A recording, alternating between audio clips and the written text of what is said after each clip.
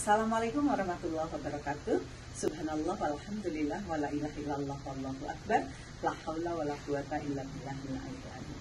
Sahabat perempuan bangsa yang dirahmati Allah, Alhamdulillah di Ramadan Karim ini kita bisa bersua di Kulnit Kuliah satu menit. Dan saya akan sampaikan satu ayat Bismillahirrahmanirrahim. Man amilas salihah min dzakarin aw unsa wa huwa mu'min falanuhiyannahu hayatan thayyibah. Barang siapa berbuat amal saleh baik laki-laki ataupun perempuan dalam kondisi beriman, maka Allah akan berikan kehidupan yang lebih baik. Maka saya mengajak sahabat perempuan bangsa di Ramadan Karim yang penuh kemuliaan, yang penuh keberkahan ini, mari kita tingkatkan kualitas amalan ibadah kita. Kita hiasi ibadah saum kita dengan tetap terawih, dengan tadarus, dan dengan berinfak dan bersedekah. Mudah-mudahan Allah jadikan kita sebagai perempuan-perempuan hebat yang kuat, yang walillahil izzatu wali rasulihi walil mu'minin bahwa kegagahan itu adalah kepunyaan Allah, kepunyaan Rasul dan kepunyaan orang-orang yang beriman.